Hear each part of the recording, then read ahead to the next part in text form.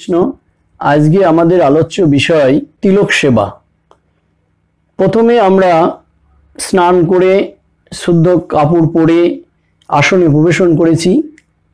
এইবার আমাদের কি করতে হবে?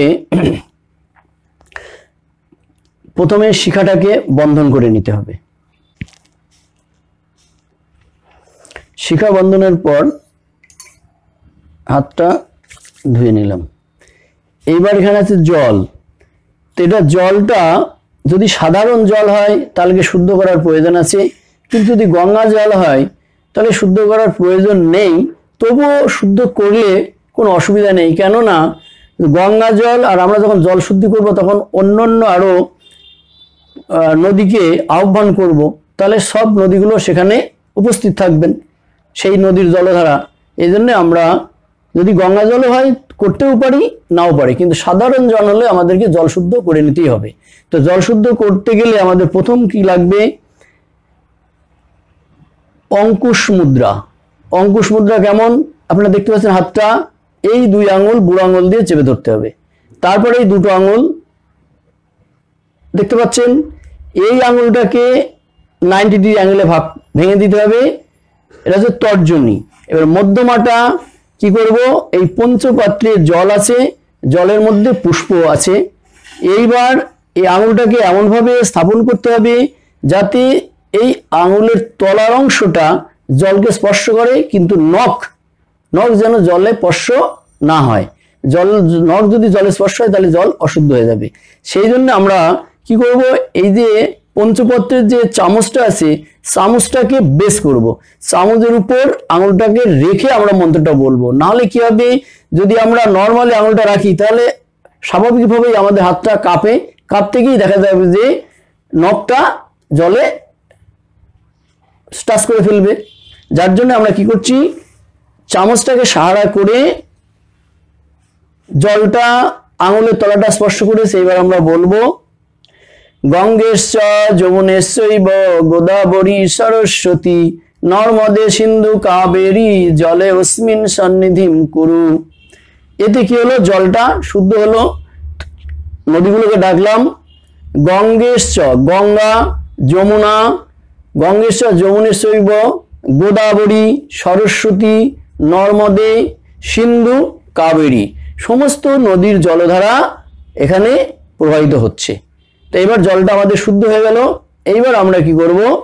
তিলক ধারণের প্রথমে একবার আসমন করতে হবে। সেই আসমনটা হচ্ছে সাধারণ আসমন।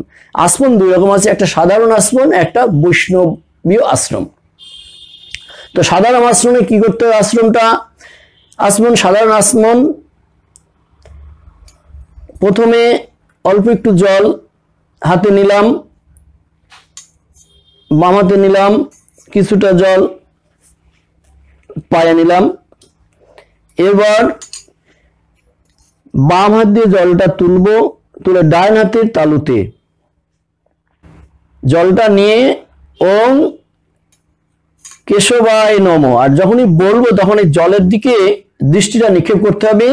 আর এই যে বৃদ্ধাঙ্গুলের যে নিচেরটা আছে, এই যে এইখান দিয়ে আমরা জলটা আসবে। এসে কোথায়?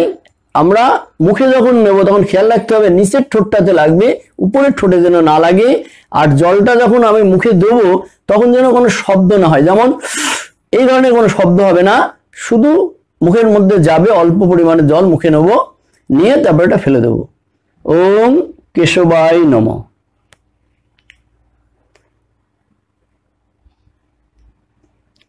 ওম নারায়ণায় নম।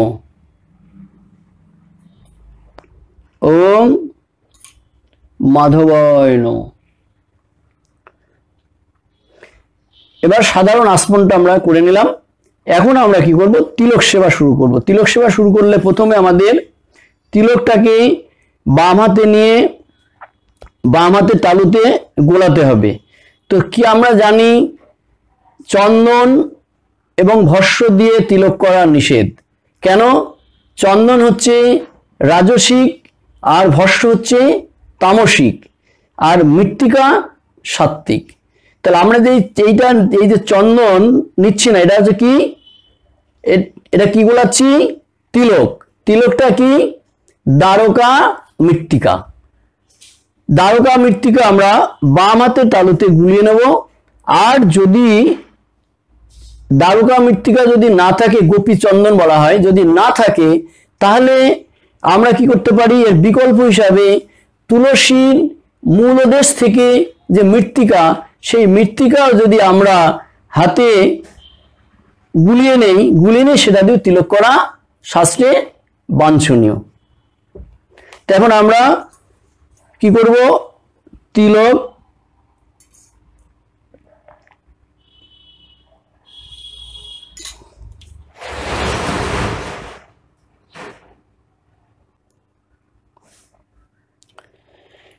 তিলক দ্বাদশ অঙ্গে আমরা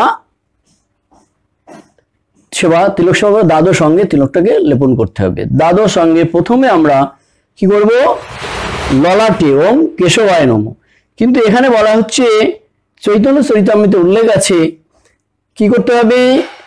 তিলক যখন আমরা যে অঙ্গে তিলক লেপন করব, সেই অঙ্গের, যেমন আমরা বলি, ওম, এটা কেশবায় নম। তাহলে এখানে কেশবের ধ্যান করতে হবে। প্রতিটা অঙ্গে আমরা যখন তিলক দেব, তখন আমরা সেখানে সেই অধিষ্ঠিত যিনি আছেন, তার ধ্যান করব।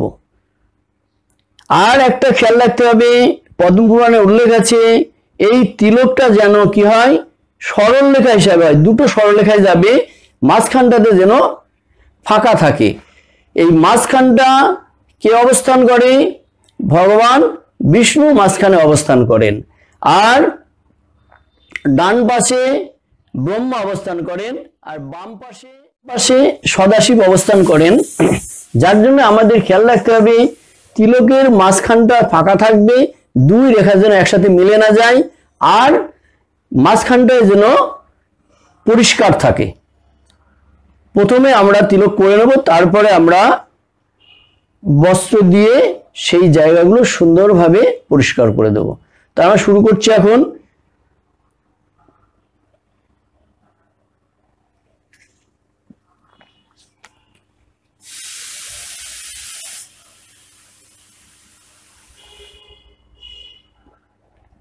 আর এই যে তিলক সেবা করছি, এই ললাটের তিলকের বিশ- বৈশিষ্ট্য আছে।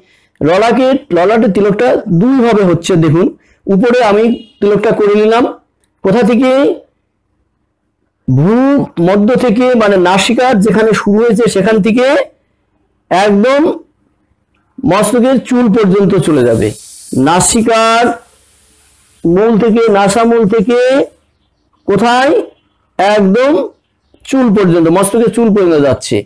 আর নিচের দিকে আমরা যখন যাব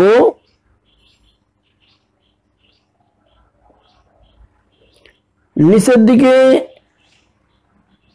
নাসামূল থেকে শুরু করে নিচের দিকে নামবে এবং এটার যেন ছোট না হয় এবং অধিক বড় না হয়।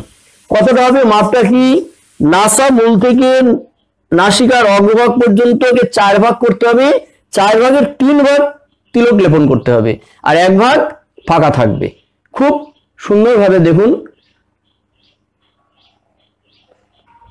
তারপরে কি করতে হবে? নিচের পার্ট আর উপরের পার্টটাকে যুক্ত করে দিতে হবে। নিচের পার্ট এবং উপরের পার্টকে যুক্ত করতে হবে। আপনারা এবার দেখুন সুন্দরভাবে আমি আয়নাটা সরিয়ে নিচ্ছি।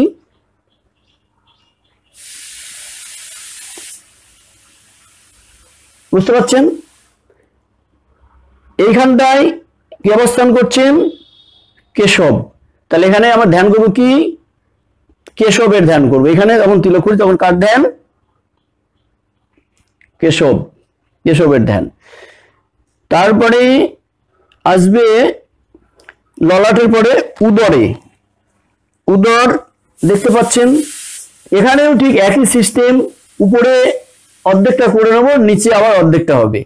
কিন্তু দুর্ভাগ্যবশত আমার বুকে দেখছেন, অনেক লোম রয়েছে, যার জন্য এখানে অতটা ক্লিয়ার আপনারা দেখতে পারবেন না। কিন্তু আপনারা ঠিকমতো করবেন। আর এখানে আমি জাস্ট নিয়ম রক্ষার জন্য আমি সুন্দরভাবে আঁকাবো। তিলক লেপন করছি। তাহলে এখানে কি অবস্থান করছেন? নারায়ণ। তাহলে নারায়ণের ধ্যান। বক্ষে। খেয়াল করবেন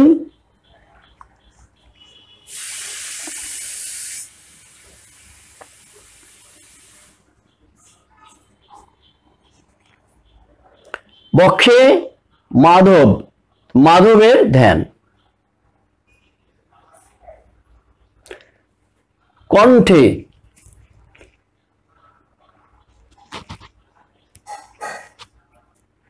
কণ্ঠে গোবিন্দ গোবিন্দের ধ্যান।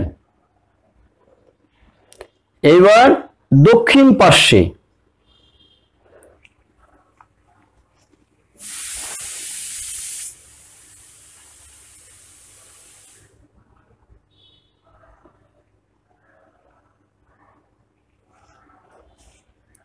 দক্ষিণ পার্শ্বে বিষ্ণু বিষ্ণুর ধ্যান। আমরা ডান হাতের অনামিকা দিয়ে করলাম। এর নিয়ম হচ্ছে, হয় ডান হাতের অনামিকা, না হলে মধ্যমা। অনামিকা দেওয়া শ্রেষ্ঠ, না হলে যদি কারও কোনো অনামিকাতে অসুবিধা থাকে, তাহলে মধ্যমা দিয়ে করবে। এইবার ডান হাতের ডান দিকের যে ডান বাহুতে আমরা যখন করব, তখন তো আর এটা দিয়ে সম্ভব না। তখন কি করতে হবে? বাম হাতের অনামিকাতে তেলকটা মাখিয়ে নিতে হবে। নিয়ে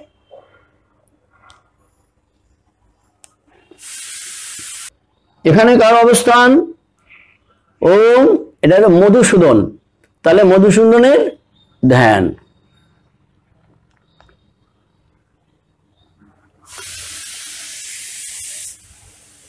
বাহুমূল, দক্ষিণ বাহুমূল। বা স্কন্দ বলা হয়। এখানে কার স্থান ত্রিবিক্রমায় নম তাহলে ত্রিবিক্রমের ধ্যান। এইবার বাম পাশে। এখানে কার অবস্থান বামনায়। বামনের ধ্যান। বাম বাহুতে চিধর হয়। তাহলে চিধরের ধ্যান।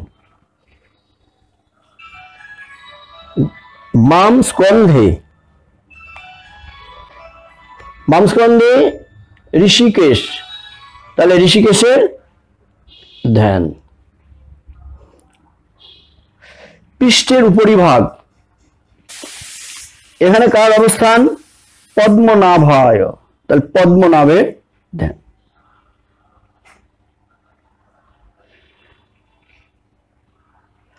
পৃষ্ঠের নিম্নভাগ কোটি দেশ।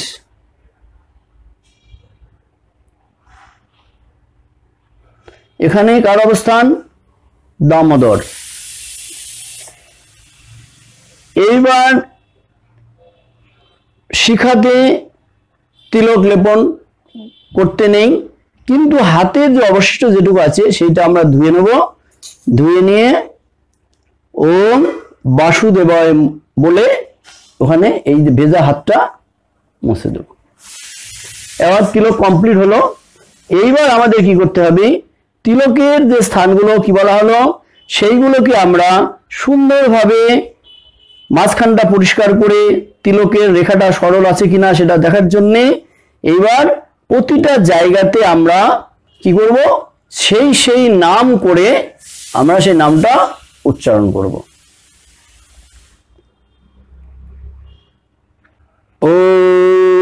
ওম কেশবায় নম। ওম নারায়ণাই নম। ওম মাধবায় নম। ওম গোবিন্দায় নম। ওম বিষ্ণুবে নম। ওম মধুসূদনায় নম। ওম ত্রিবিক্রমায় নম। ওম বামনায় নম। ওম চিধরায় নম। ওম ঋষিকেশায় নম। ওম পদ্মনাভায় নম। ওম দামোদরায় নম। এবার আমাদের তিলক কমপ্লিট হয়ে যাবে আসমন